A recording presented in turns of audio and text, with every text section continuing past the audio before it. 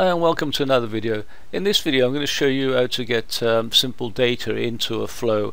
Now this particular flow is taken, or this section of the flow is taken from uh, my MQT MQTT broker monitor flow where I add brokers uh, into a list that need to be monitored and I remove brokers from the list that I don't want to monitor anymore. And I say you can use this for any kind of data. I use the same kind of technique for configuration data so most flows have configuration data. You can actually hard code that data into a flow or you can put it into a, a file initially and read it from the file. Um, but this is more flexible in uh, the, in the fact that it allows you to actually read it from the file here because you can load the data from the file here. And it also allows you to actually add additional data to it so if the data changes so you need to change some parameters. So we have two text input. These are these are, these are text input forms and we can add brokers to the list here and we can remove brokers from the list. So let's add a broker to the list and once we finish we can add multiple brokers to this list. So we we might want to add a list of brokers in one go so we submit it. And if I just click on this show brokers you can see it's added to the broker list. And to remove a broker let's remove um, the first one.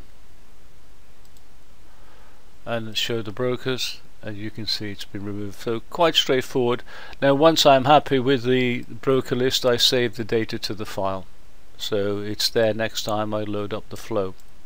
So let's take a, a quick look at the, code behind it. It's quite straightforward. Uh, let's start at the top. So we had the input buttons. You can see here it's, it's actually a form. And we're using a multi-line input. And it just goes straight into this function which basically terminates. It doesn't go anywhere. And the function starts off let's open that up a bit. We have to because we can add multiple brokers we need to split the brokers. So if we have a list here we're going to split the brokers into a, a, a, list. And this is the new line characters so we just get rid of those new line characters and split the, uh, the list up so we should finish up here with a list of brokers uh, that we've added. In the case when I showed you the example we would only have one broker. And now we go and loop through the the new brokers and we see if the broker is already existing in that actual list so the original list is called brokers and the ones we're adding is called new brokers so we just basically go through that brokers list and if it includes our, a new broker then we don't add it if it doesn't include our new broker, then we add it. It's quite quite straightforward. And at the end we save it. So it's stored in a flow object called brokers. And the remove brokers is the opposite. So we loop through the new brokers list. These are the brokers we we want to remove. And we check the brokers list. Is this broker in that list? If it is then we can remove it. So we find the index of the broker. And then we cut it out using the splice. Again quite straightforward now if it's not in that list we can't remove it so we just continue so to save it we basically pull out the broker list from the flow variable uh, we convert it into a JSON string and we store it. We return it and it gets stored by the file node. Now the actual file name we're picking up uh, that's part of a global variable which I, I've set and let me show you that. There it is there.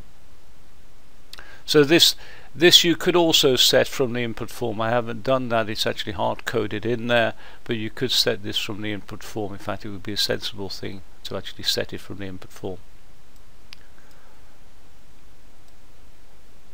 And the read is basically the opposite.